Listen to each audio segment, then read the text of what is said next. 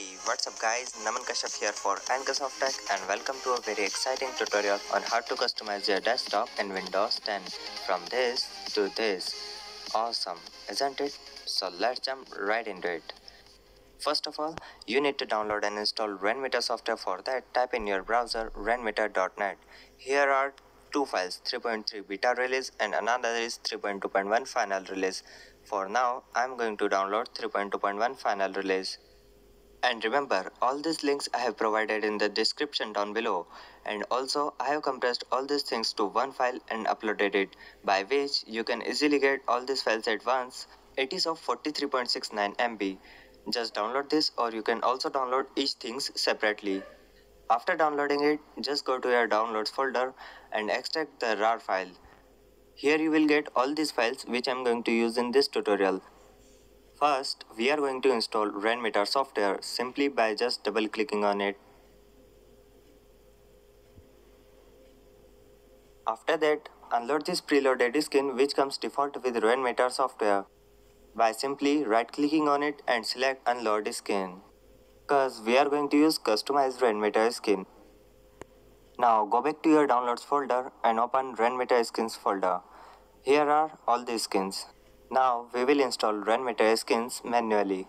To install any Rainmeter skin, just right click on it and select install. Now to open Rainmeter, click on show hidden icons button in your taskbar. Here you will find Rainmeter icon. Just double click on it to open it. In skins tab, you will find your skins which you have installed.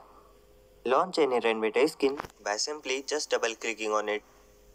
You can also launch your Rainmeter skin according to your desktop resolution. After that, you can simply manage your skins. To move any skin, just click and drag it. Simple, isn't it?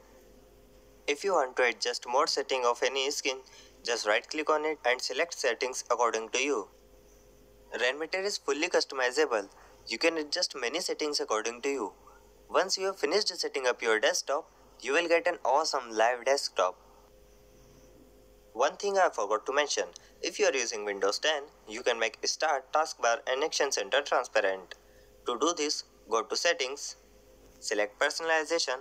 Now in Color tab, scroll down and turn on the last option which says Make Start, Taskbar and Action Center transparent. Now, you have an awesome live desktop up and running and that's all there is to it.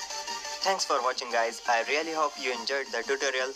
If you have any comments, questions or suggestions, just leave them in the section down below. Please remember to subscribe cause I will upload many awesome tutorials on this channel.